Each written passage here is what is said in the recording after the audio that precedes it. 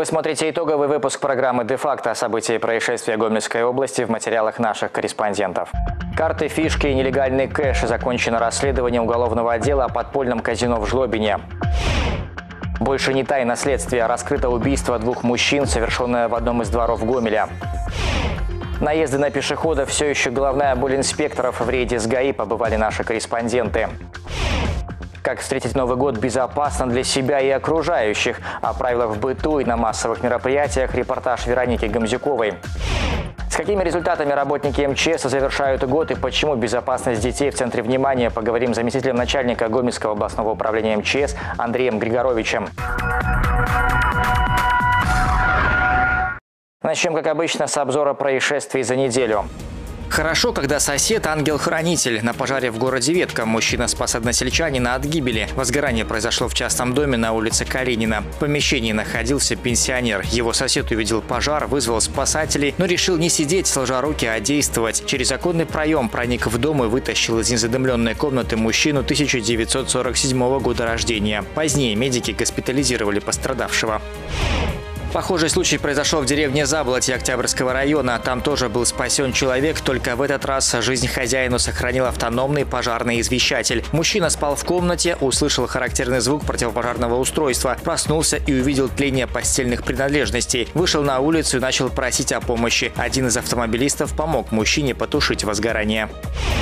Сколько веревочки не виться, а конец будет. Оперативники Новобелецкого района Гомеля таки задержали преступника, который обворовал с десяток человек. У некоторых пропала крупная сумма денег. У гомельчанки, например, грабитель отобрал велосипед. В агрогородке Улукове у сельчанина пропала акустическая система и телефон. В микрорайоне Хутор областного центра у мужчины с дачи похитили весь электроинструмент. Милиционеры задержали вора. Часть похищенного вернулась владельцам.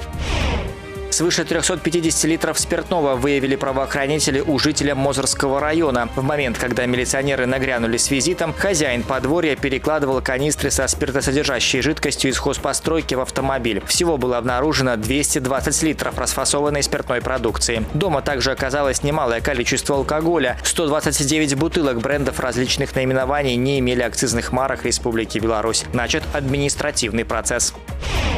В Добружском районе у местного жителя правоохранители изъяли самодельный пистолет. О том, что 53-летний житель Дубровки хранит незарегистрированное огнестрельное оружие, стало известно пограничникам из войсковой части 1242. Пистолет нашла следственно-оперативная группа. В канале ствола находился патрон. Согласно заключению эксперта, пистолет изготовлен из металлических деталей преимущественно хозяйственно-бытового назначения и является гладкоствольным огнестрельным оружием калибра 6,7 мм. Возбуждено уголовное дело. Один человек погиб и трое пострадали в ДТП, которое произошло в Светлогорском районе на автодороге Светлогорск-Сосновый Бор-Полесье. Водитель автомобиля «Мерседес» столкнулся с грузовиком «Урал», который остановился ближе к правой обочине. В результате происшествия 32-летняя девушка-пассажир легковушки, находившаяся на переднем сидении, погибла на месте. Остальные пассажиры и водители с травмами госпитализированы. Карты, фишки и нелегальный кэш. Завершено расследование уголовного отдела о деятельности подпольного покерного клуба в Жлобине. С 2014 года удачу за хвост там пробовали поймать более 300 игроков. Владельцами казино были 44-летний житель Жлобинского района и двое его товарищей. Один из них вышел из бизнеса через два месяца после открытия. По сути, заведение позиционировалось как бар, а покерные столы были для антуража и досуга клиентов. Долгое время в налоговой не знали, что руководство клуба проводило турниры с призовыми фондами и кэш-игры. 160 тысяч рублей – такова недополученная сумма бюджета. Двум фигурантам уголовного дела предъявлены обвинения. Задержан подозреваемый по делу о двойном убийстве в Гомеле. Трагедия произошла 14 июля этого года во дворе многоэтажной застройки микрорайона Гумсельмаш. На улице Дворникова были найдены тела двух мужчин в возрасте 38 и 32 лет, которые в ночное время в беседке слушали музыку. У погибших остались несовершеннолетние дети. Правоохранители взялись за расследование уголовного дела. Были опрошены свидетели и множество возможных очевидцев. На подозреваемого удалось выйти в декабре. Им оказался 23-летний безработный местный житель, ранее судимый за мошенничество. С первых минут после совершения преступления правоохранители начали плотно работать над его раскрытием. День за днем методично обходили квартиры, опрашивали граждан и возможных свидетелей. Проверялись все лица, имевшие криминальное прошлое или ведущие антисоциальный образ жизни – Оперативно-застные мероприятия не останавливались ни на один день. В настоящее время по подозрению в совершении убийства задержан 23-летний ранее судимый гомельчанин. Он дает признательные показания. Следственным комитетом Республики Беларусь возбуждено уголовное дело по факту убийства двух лиц. Фигурант дела арестован. Совместно следственно-оперативная группа МВД и Следственного комитета продолжает сбор доказательной базы. Уже больше месяца сотрудники всех служб милиции и общественной безопасности проводят усиленный контроль за соблюдением правил дорожного движения вблизи пешеходных переходов и аварийно опасных участков дорог. Самое сложное время – утренние и вечерние часы пик. Все осложняет переменчивая погода, то мороз со снегом, то оттепель. Чтобы напомнить наиболее уязвимым участникам дорожного движения о необходимости соблюдения правил и мер предосторожности, сотрудники ГАИ проводят различные мероприятия, в том числе и совместные рейды с представителями средств средств массовой информации. 21 декабря примерно в 22.30 в деревне Дублин Брагинского района произошло ДТП. 25-летний водитель, управляя автомобилем «Фиат», двигаясь по улице Гагарина, совершил наезд на лежащего на проезжей части неработающего 41-летнего местного жителя. По внешним признакам тот находился в состоянии алкогольного опьянения и без световозвращающих элементов. Э, в подобных случаях при выезде на осмотр места происшествия исследуется вечно-следовая информация на месте происшествия, а также техническое состояние транспортных средств. После чего по результатам проведенных следственных экспериментов следователям устанавливается наличие либо отсутствие у водителя технической возможности предотвратить наезд на пешехода. Виновными в гибели пешеходов не всегда являются водители. В деревне Хутор Светлогорского района автомобилист наехал на мужчину, который катил свой велосипед по проезжей части. Экспертам удалось установить, что пешеход был пьян, а на его одежде и транспортном средстве не было световозвращающих элементов. Учитывая, что причиной ДТП послужили неосторожные действия погибшего, уголовное преследование в отношении водителя и предварительное следствие по делу были прекращены. Тем не менее, жизнь человеческая оборвалась по причине проявленной неосторожности, и об этом не стоит забывать, особенно зимой. В этот период э, увеличивается тормозной путь транспортных средств. К сожалению, э, наши пешеходы не в полной мере зачастую оценивают э, обстановку. Переходят проезжую часть, не обращая на эти моменты внимания. И зачастую, к сожалению, водители не могут, не, бывает, что в ряде дорожных происшествий не успевают остановить свое транспортное средство, совершаются наезды, и граждане получают серьезные увечья. Правоохранители постоянно проводят информационно-разъяснительную работу по вопросам соблюдения правил дорожного движения среди всех категорий населения. Однако, несмотря на предпринимаемые меры, дорожно-транспортные происшествия с участием пешеходов фиксируются в сводках через день. За 20 дней декабря зарегистрировано 16 наездов на пешеходов. 4 человека погибли и 14 были травмированы. К административной ответственности за неполный год было привлечено свыше 8,5 тысяч водителей, которые не предоставили пешеходам право на преимущество в движении движении. Проблема и в пренебрежении фликерами. Порой пешеходы просто забывают о том, как это важно. Сегодня я, конечно, подарю вам фликеры, да? Я могу сбегать, мы тут не, не надо на занятия бегать.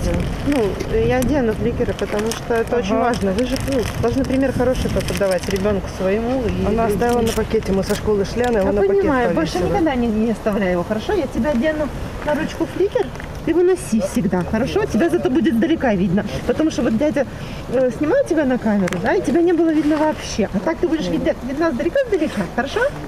Только не забывай, хорошо? Ну и маме подарим фликер. Вот, берите себе, пожалуйста, своего ребенка. Я говорю, забыла она его. Эта женщина на велосипеде передвигалась по центру проезжей части. Сотрудники ГАИ остановили ее поздним вечером в советском районе Гомеля. Велосипедистка получила замечание за то, что ее транспорт не был оборудован фонарями, как того требуют правила. С ней провели профилактическую беседу и наклеили на велосипед дополнительные светоотражающие элементы. В связи с предстоящими праздниками сотрудники госавтоинспекции в очередной раз обращаются ко всем участникам дорожного движения и напоминают о том, что только неукоснительное соблюдение правил дорожного движения э, поможет снизить нам количество происшествий на дороге. Э, если вы увидели э, нетрезвого человека на дороге, либо человека, который садится за руль, пожалуйста, наберите номер телефона 102, предупредите о таком человеке, чтобы мы имели возможность предотвратить беду. В этом году к административной ответственности привлечено более трех с половиной тысяч пешеходов. 16 тысяч граждан, которые пересекали проезжую часть в неположенном месте, могли стать жертвами или виновниками ДТП. В отношении них сотрудники ГАИ вовремя приняли предупреждающие меры. В Беларуси проходит третий этап республиканской акции «Безопасный Новый год». В рамках комплекса мероприятий спасатели напоминают, как встретить 2020 без происшествий. Сотрудники милиции и ГАИ переходят на усиленный режим работы. Вероника Гамзюкова узнала, как готовятся к праздникам специалисты разных сфер. В Новый год и в первые несколько дней после него к правоохранителям обращаются в два раза чаще. Ежегодно в этот период милиция переходит на усиленный режим работы. Гамельчанам напоминают, что места массовых гуляний будут ограничены турникетами. Людей будут досматривать с помощью металлодетекторов. Такие меры принимаются, чтобы никто не смог пронести на праздник алкоголь, а также холодное и огнестрельное оружие, запрещенные вещества и боеприпасы. Убедительно просим граждан проявлять бдительность, своевременно информировать милицию о подозрительных подозрительных лицах, либо оставленных без присмотра предметах и вещах, а также с пониманием относиться к принимаемым мерам безопасности. Накануне новогодних и рождественских праздников УВД Гомельского облсполкома напоминает о соблюдении общественного порядка, мер личной и имущественной безопасности, а также правил дорожного движения в местах проведения массовых мероприятий. На усиленный режим работы переходят и сотрудники ГАИ. И это не случайно. Под Новый год количество ДТП увеличивается. В будние дни в среднем среднем выявляется 6 нетрезвых водителей. В празднике цифра становится больше. Так, 1 января 2019 года было выявлено 12 нетрезвых водителей, а в первый день 2020 – 14 пьяных за рулем. Госавтоинспекция напоминает э, всем автолюбителям о недопустимости управления транспортным средством в нетрезвом состоянии. Э, не омрачайте праздничное настроение как себе, так и другим участникам дорожного движения. А также госавтоинспекция хочет обратиться к автолюбителям и родителям а, о том, что а, начинаются школьные каникулы, и э, хочется обратиться к родителям о том, чтобы еще раз напомнили своим детям а, о соблюдении правил дорожного движения и о том, что улица это дорога это не место для игр. Заблаговременно обдумывайте маршрут своего движения до места празднования и обязательно оставляйте свой личный автотранспорт на специальных отведенных э, стоянках и площадках. Одно из самых опасных развлечений в новогодние выходные – это фейерверки и петарды. С 11 августа этого года запрещена продажа пиротехнической продукции как оптом, так и в розницу. Однако, если у вас есть пиротехника, ее использование должно строго соответствовать правилам безопасности. При этом ни в коем случае не создавать предпосылок к нарушению общественного порядка, а также к возможному причинению вреда окружающим. Тем не менее, многие не обращают внимания на предупреждение об опасности. Медики отмечают, что в новогодние каникулы люди чаще попадают в медучреждения. Причины – термические ожоги глаз, рваные раны лица и рук, закрытые черепно-мозговые травмы. Близится Новый год и новогодние праздники. Ну и традиционно в эти дни у нас бывают специфические травмы, э, в этот период люди используют пиротехнические различные изделия. Это происходит часто бесконтрольно. И это опасно для жизни и здоровья людей, особенно для детей. Ну чем младше, тем опаснее. Мы не рекомендуем вообще использовать пиротехнические изделия. Все они опасны и могут вызывать термические поражения кожных покровов. А пиротехническая травма также наносит механическое повреждение. Бывает вплоть до отрывов фаланг пальцев, кистей. А, таких людей нужно экстренно оперировать в новогодние праздники совместно с травматологами длительная реабилитация, инвалидность. В общем, след на всю жизнь. Поэтому не рекомендуем использовать пиротехнические изделия в целом.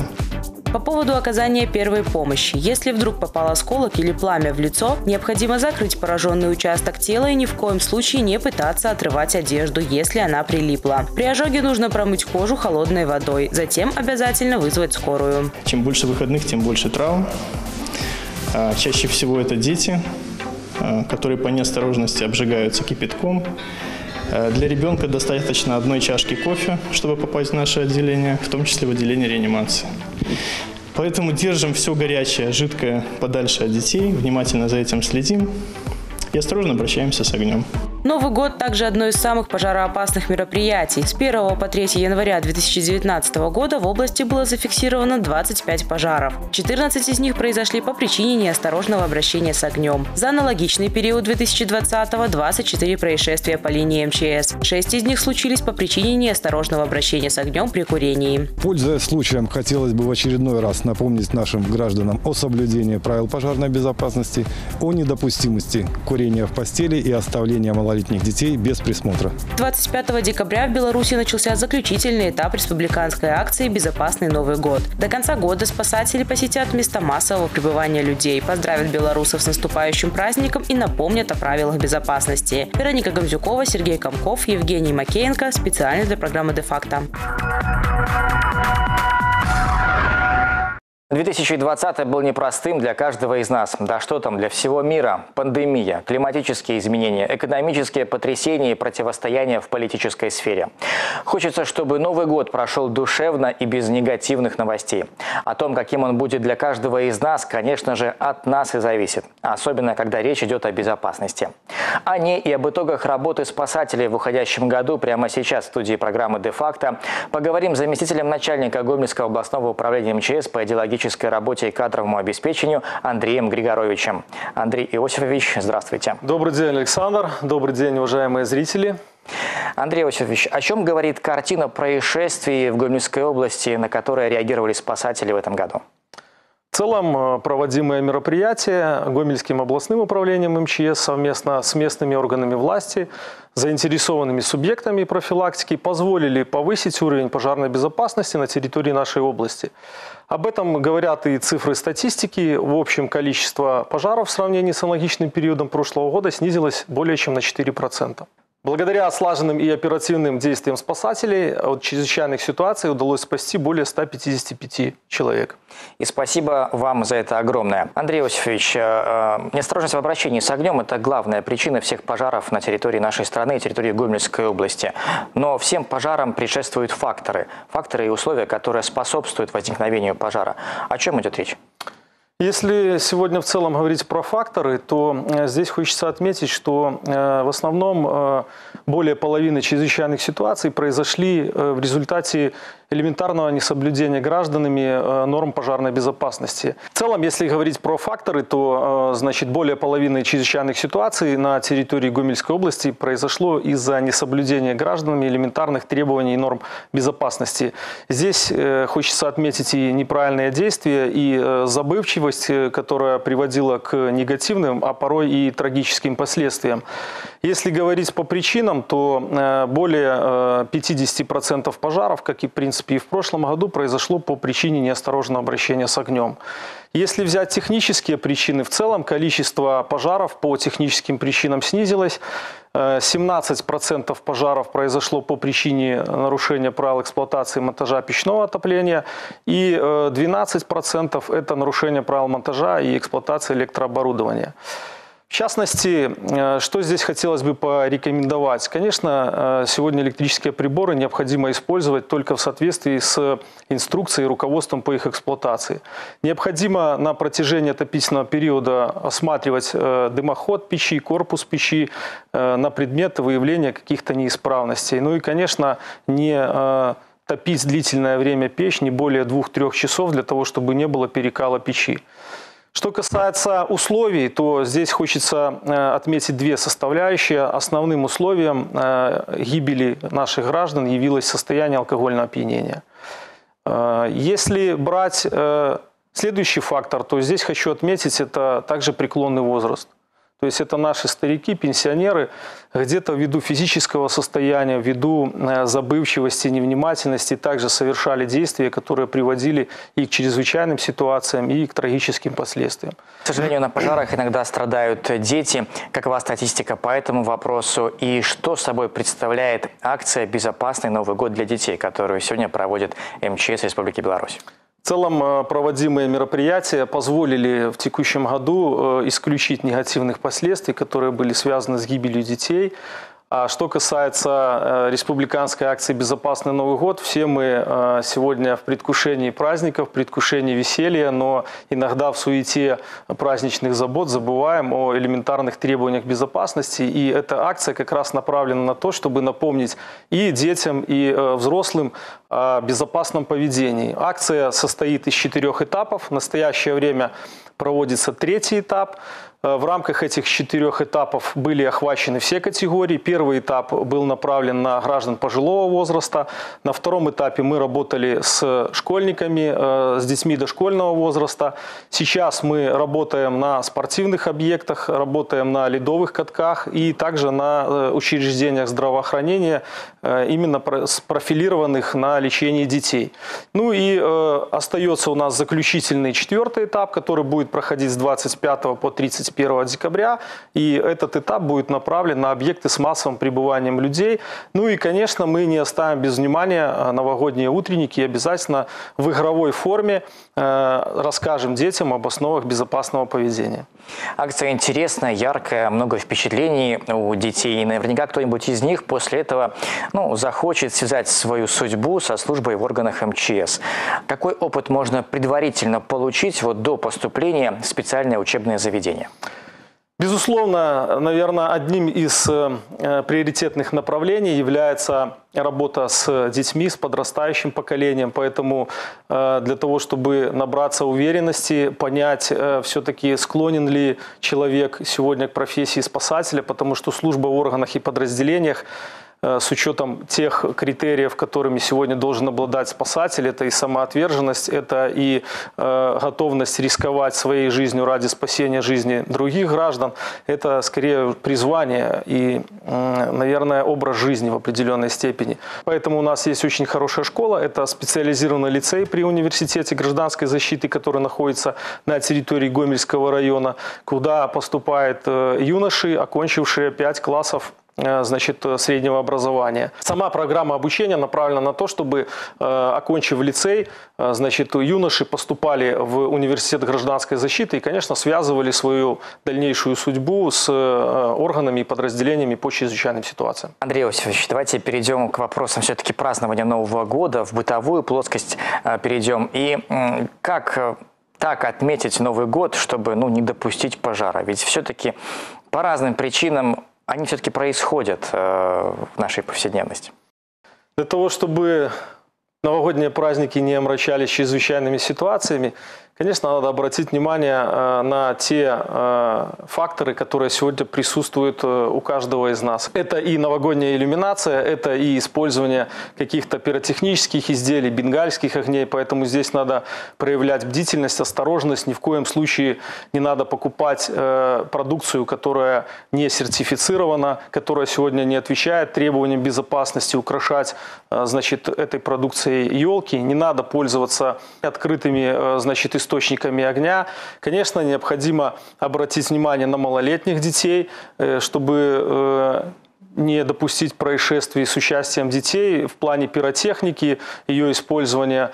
Также необходимо помнить о том, что сегодня э, использование бенгальских огней, пиротехнических изделий в помещениях и в зданиях запрещено. Всегда показываем это видео, а, и оно говорит о том, как быстро может загореться новогоднее дерево.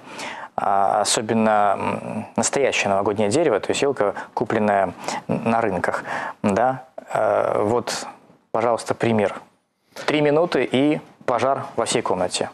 Особенно, конечно, быстро сегодня э, горят э, не искусственные, а э, значит, натуральные елки, которые мы сегодня живые устанавливаем у себя в квартирах. Поэтому, конечно, необходимо помнить, что такие елки необходимо устанавливать подальше от приборов отопления, от каких-то источников значит, открытого, может быть, где-то огня и, конечно, от электроприборов. Андрей Иосифович, еще одна тема, которую мы не можем обойти, это выход на лед. Э, часто смотрим, что э, с наступлением холодов э, начинается рост происшествий, утоплений и каких-то более печальных последствий в плане массовых каких-то неприятных вещей. Как этого избежать? О каких правилах нужно помнить и как определить, что выход на лед будет безопасным или небезопасным? Гомельским областным управлением МЧС совместно с заинтересованными субъектами очень много проводится рейдовых мероприятий. Активно работаем также в учреждениях образования, напоминаем детях, о, детям о элементарных требованиях безопасности да, при выходе на лед. Также активно работаем со средствами массовой информации. И, э, наверное, основной формой работы также является э, проведение практических занятий. Приглашаем учащихся и на практике отрабатываем э, действия, которые необходимо предпринять, если значит, есть угроза человеку, который находится в ледяной воде, и, конечно, оказание первой помощи. Ну и рассказываем о том, насколько сегодня опасен лед и как по внешним признакам сегодня можно определить, безопасен ли он для того, чтобы на нем находился человек или нет. Когда он безопасный? В первую очередь, конечно, необходимо обращать внимание на цвет самого льда. Если лед имеет голубоватый или зеленоватый оттенок, то это самый крепкий лед. Если он матово-белого цвета, то это говорит о том, что он состоит из смерзшихся между собой снежинок, и там могут быть воздушные карманы, которые могут э, представлять опасность для человека. Ну и, конечно, необходимо обращать внимание там, где Сегодня есть какие-то участки с большим течением, которые э, не промерзают. Там, где э, произрастают какие-то водные растения, вот эти участки являются самыми небезопасными. Ну и такой, наверное, уже бытейский совет, когда э, нет протоптанных следов, да, если мы находимся на каких-то водоемах, с которыми мы не знакомы, то, наверное, такие водоемы не надо посещать, особенно если это все засыпано снегом. Андрей Иосифович, я благодарю вас за конструктивный разговор и желаю всем спасателям Гомельской области и, конечно же, вам лично безопасного Нового года. Спасибо, Александр. А я от имени Гомельского областного управления МЧС хочу поздравить всех телезрителей с наступающим Новым годом. Конечно, хочу пожелать поменьше попадать в чрезвычайные ситуации, быть примером для своих детей, для своих близких. Своим коллегам, э, спасателям Гомельской области хочу пожелать поменьше выездов на чрезвычайные ситуации, чтобы все свои навыки и умения они оттачивали только на учениях и занятиях. Берегите себя, берегите свои семьи и всем хорошего и бодрого настроения в новом 2021 году. На сегодня все. За происшествиями Гомельского региона следите в ежедневных выпусках «Де-факто». В итоговой программе встретимся в следующем году. Безопасных вам праздников! Thank.